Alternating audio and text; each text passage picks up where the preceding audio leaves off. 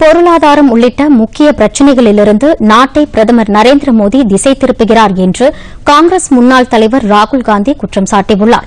தில்லியில் நாடாளுமன்ற வளாகத்தில் செய்தியாளர்களிடம் பேசிய அவர் குடியரசுத் தலைவர் உரைக்கு நன்றி தெரிவிக்கும் தீர்மானத்தின் மீதான விவாதத்திற்கு மக்களவையில் பதிலளித்து பேசிய பிரதமர் மோடி நாட்டின் இன்றைய மிகப்பெரிய முக்கிய பிரச்சினையான வேலையின்மை குறித்து பிரதமர் ஒரு வார்த்தை கூட பேசவில்லை என்றாா் மாறாக காங்கிரஸ் குறித்தும் நேரு குறித்தும் பாகிஸ்தான் குறித்தும் பிரதமர் பேசி வருவதாக கூறிய ராகுல் காந்தி முக்கிய பிரச்சினைகளிலிருந்து பிரதமர் நாட்டை திசை திருப்புகிறார் என்றார்.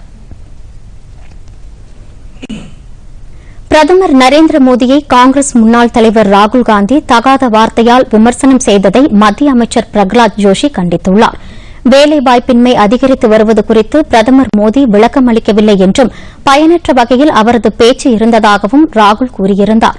இதற்கு கண்டனம் தெரிவிக்கும் வகையில் தில்லியில் செய்தியாளர்களிடம் பேசிய அமைச்சர் பிரகலாத் ஜோஷி மக்களால் நிராகரிக்கப்பட்ட கட்சியின் தலைவர்களில் ஒருவராக இருக்கும் ராகுல் காந்தியின் பேச்சு ஏற்புடையது அல்ல என்றார்.